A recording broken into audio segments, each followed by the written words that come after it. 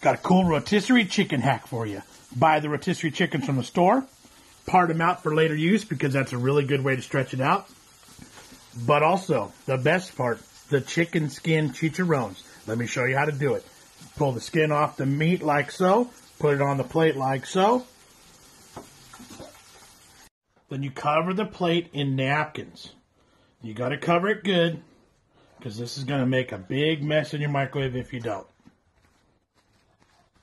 Boom. Into the microwave. Five minutes. Start. All right, so five minutes ended up being more like 10 minutes, but this is what they look like when they come out.